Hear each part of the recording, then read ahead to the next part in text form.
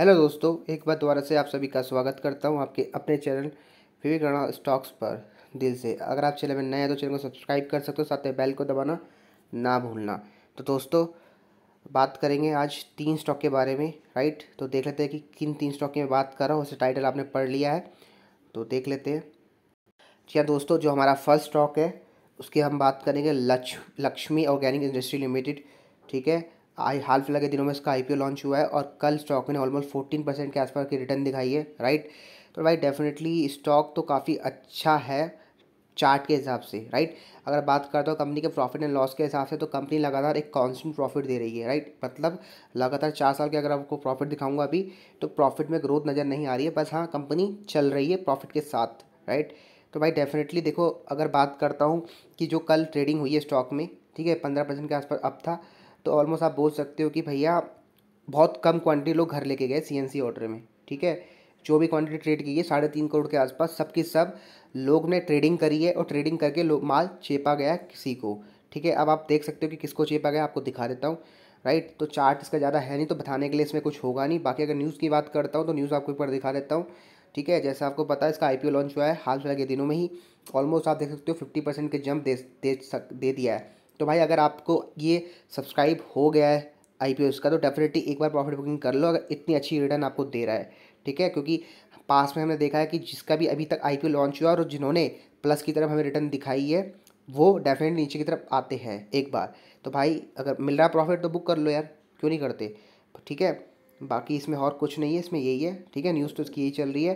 बाकी एक बार आपको दिखाता हूँ उसका डेटा कि एनएससी में कैसा ट्रेड हुआ है। राइट जिस पे बेसिस पे मैं कह रहा हूँ कि स्टॉक को आपको होल्ड नहीं करना चाहिए अगर आपने होल्ड किया हुआ है। तो दोस्तों देख सकते हो मैंने एन में डेटा खोला हुआ, छब्बीस मार्च का Laxmi organic organic industry limited एक केमिकल सेक्टर का स्टॉक है। ठीक है, चौदह परसेंट के आसपास। अब था, जैसे बताया गया आपको, छब्बीस मार्च को अगर हम बात करते क्या हुआ स्टॉक में तो दोस्तों देख सकते हो, तीन करोड़ के आसपास क्वान्टिटी ट्रेड की गई है, तीन करोड़ और मात्र छियालीस लाख क्वान्टिटी लोग घर लेके गए।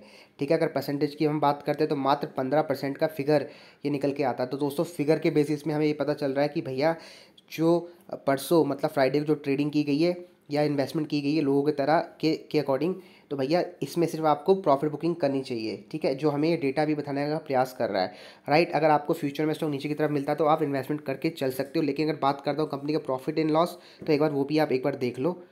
दोस्तों, मैंने कंपनी के बारे में खोला हुआ, ज़्यादा डिटेल अभी कंपनी के बारे में नहीं मिल पाएगी। हाँ लेकिन कंपनी के लगातार चार साल के प्रॉफिट हमें देखने को मिल सकते हैं। मैं आपको उसकी कंपनी के प्रॉफिट दिखा देता हूँ, ठीक है?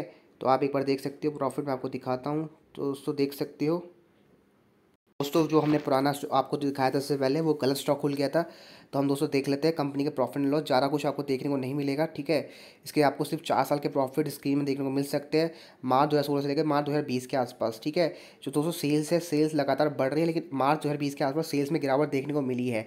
लेकिन अगर बात करता हूँ कंपनी के एक्सपेंसिस तो कंपनी के एक्सपेंसिस भी काफ़ी ज़्यादा है, ठीक है? अगर नेट इनकम की बात करता हूँ तो दोस्तों देख सकते हो शुरू के तीन साल तो कंपनी ने अच्छा काम किया। कंपनी के लग प्रॉफिट लगातार बढ़े। लेकिन दोस्तों, देख सकते हो कंपनी के बाद में, ठीक है एफ़ आई नाइनटीन में कंपनी का जो प्रॉफिट था मात्र नाइन्टी एट करोड़ था, जो लास्ट ईयर के कंपैरिजन में डाउन था। ठीक है, अगर बात करता एफ़ आई ट्वेंटी में तो वो भी इक्यासी करोड़ का प्रॉफिट था। मतलब आप देख सकते हो कि कंपनी का जो प्रॉफिट है, लगातार गिर रहा है।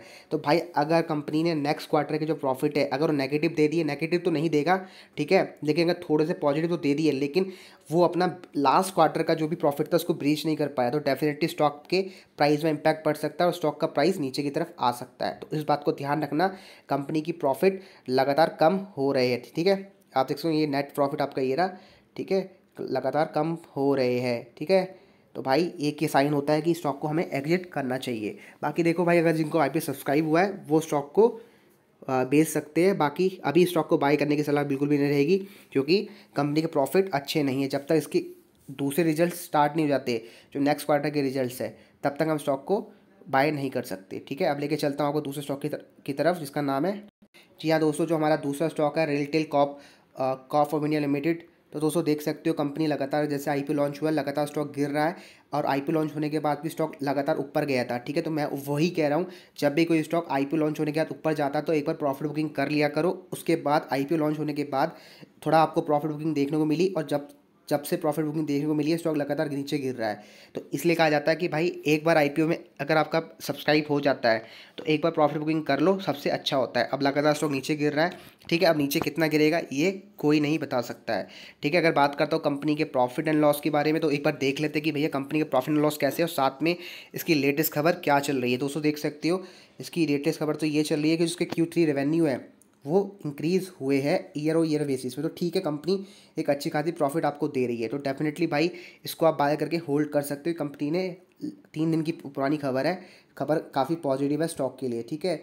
इसने फिफ्टी टू परसेंट के आसपास ग्रोथ शो करी है ईयर टू ईयर बेसिस में। तो डेफिनेटली अगर ये ग्रोथ शो कर रहा है तो डेफिनेटली फ्यूचर भी इसका ब्राइट हो सकता है।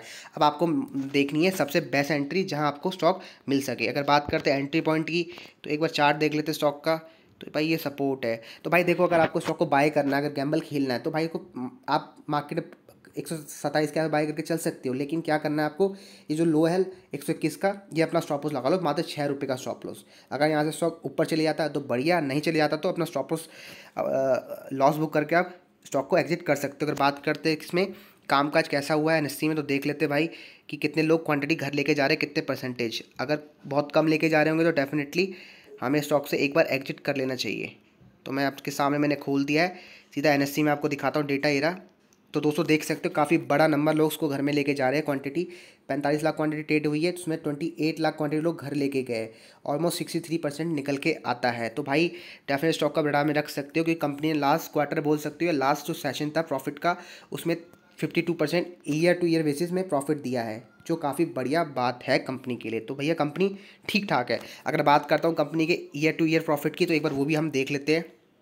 तो दोस्तों कंपनी के बारे में मैं देख पा रहा हूँ। कंपनी ऑलमोस्ट डेट फ्री काफ़ी बढ़िया भैया। रिटेल जो स्टॉक है डेट फ्री स्टॉक है, आपको अच्छा खासा डिविडेंड भी कंपनी दे रही है, ठीक है? अगर बात करते हैं कंपनी के प्रॉफिट की तो क्वार्टरली रिजल्ट्स मैंने आपके सामने खोल रखे हैं। दोस्तों, देख सकते हैं क्वार्टरली रिजल्ट्स आपके काफ़ी बेहतरीन है। दिसंबर में कंपनी को सिक्सटी नाइन करोड़ का प्रॉफिट हुआ है और उससे पहले ट्वेंटी एट करोड़ का प्रॉफिट था। तो मतलब कंपनी का प्रॉफिट जंप हुआ है लास्ट क्वार्टर के कंपेरिजन में। तो डेफिनेटली स्टॉक काफ़ी बढ़िया है। अगर बात करते हैं कंपनी के लास्ट पाँच साल की परफॉर्मेंस तो आपके सामने है। कंपनी की जो लास्ट साल की, पाँच साल की परफॉर्मेंस है, इसकी जो सेल्स है लगातार बढ़ रही है। मार्च दो हज़ार बीस में एक हज़ार इक्यासी की सेल्स थी कंपनी की। अगर नेट इनकम की बात करता हूँ तो दोस्तों देख सकते हो एफ़ आई नाइनटीन में एक सौ दस करोड़ का प्रॉफिट था और एफ़ आई ट्वेंटी में एक सौ अड़तीस करोड़ का प्रॉफिट था ड्यू टू कोविड कोविड होने के बावजूद ही कंपनी ने एक सौ अड़तीस करोड़ का प्रॉफिट दिया है तो दोस्तों काफ़ी बड़ी बात होती है।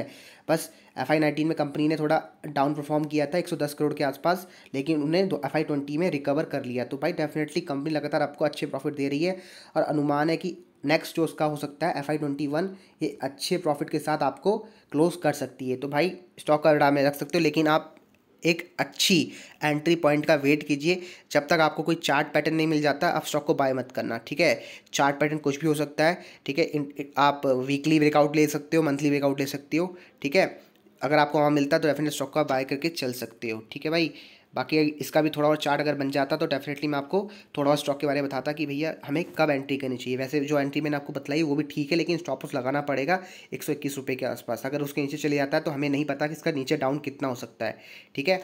अब बात करते हैं हमारे तीसरे स्टॉक की तरफ़, जिसका आईपीओ बहुत जल्द आने वाला सात अप्रैल के आसपास की लिस्टिंग डेट है। जी हाँ मैं जिस स्टॉक की बात कर रहा हूँ, उसका नाम है तो देख सकते हो जिस आईपीओ की मैं बात कर रहा हूँ बारबेक्यू नेशन की आईपीओ की बात कर रहा हूँ। भैया, अगर आपने खाना नहीं खाया इस चेन में मतलब होटल होटल की चेन है ये, रेस्टोरेंट की चेन बोल सकते हो। तो भैया, क्या खाया फिर आपने पता नहीं। तो भाई डेफिनेटली स्टॉक डाल में रख सकते हो और इसकी जो लिस्टिंग डेट है, वो भी होने वाली है। ठीक है, जो उसकी तो दोस्तों देख सकते हो, जो उसका सब्सक्राइब किया गया बारबीक्यू बारबीक्यू नेशन का आई ओवर सब्सक्राइब हुआ six time on a final day तो भैया ठीक है, अच्छे लोगों ने सब्सक्राइब किया है। अगर बात करते हैं कि कम कि आगे इसका आईपीओ की क्या डेट है, कब इसका होने वाला लॉन्च तो एक बार देख लेते डिटेल्स ठीक है? बारबिक्यू नेशन का जो आई पी काफ़ी अच्छा सब्सक्राइब हुआ, आप देख लेते कंपनी ठीक है, कि कब इसके डेट है तो दोस्तों देख सकते हो, ठीक है, मैं आपको डेट दिखा देता हूँ, दोस्तों देख सकते हो जो आईपीओ की ओपनिंग ओपनिंग डेट थी, वो चौबीस से छब्बीस मार्च के आसपास थी, ठीक है और दोस्तों जो कंपनी का प्राइस था, वो चार सौ अठानवे से लेकर पाँच सौ प्राइस रखा गया है। तीस आपको लॉट होगी। क्वांटिटी एन एस सी दोनों में लिस्टेड कंपनी है। और बात करते हैं कंपनी की अपडेट ठीक है? दोस्तों आईपीओ डेट आपको पता चल चुकी है। जो जो अलॉटमेंट डेट होगी, वो है एक अप्रैल 2021 के आसपास, ठीक है? रिफंड आपको अप्रैल पाँच के आसपास मिल जाएगा। जिनको ये अलॉट नहीं हो पाएगा तो उनका पैसा रिफंड हो जाएगा, ठीक है? और जो अकाउंट में डीमेट पर क्रेडिट होंगे शेयर्स वो छः अप्रैल के आसपास होंगे। सात तारीख को आईपीओ की लिस्टिंग हो जाएगी। तो आईपीओ के दिन क्या आपको गेन लेना चाहिए। दोस्तों मेरे हिसाब से डेफिनेटली आपको एक बार प्रॉफिट बुकिंग करनी चाहिए क्योंकि देखो हो, हो, जो होटल है ना आजकल लोग डर रहे हैं होटल में जाने से जब से कोविड टू की लहर आई है।